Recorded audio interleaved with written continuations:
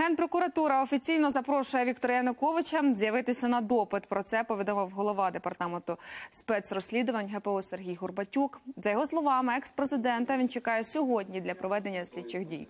Горбатюк розповів, що в справі злочинів проти активістів Майдану відкрито 117 кримінальних проваджень. Близько півсотні обвинуваченим уже оголосили вироку вироки. А в український бюджет повернули 39 мільярдів гривень, вкрадених соратниками Януковича.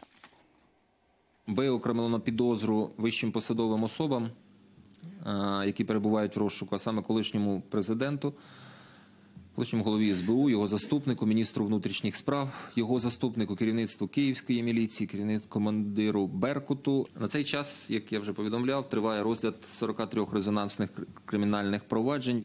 Те, що рух відбувається, в мене залишає надію на те, що все-таки злочин буде розкритий.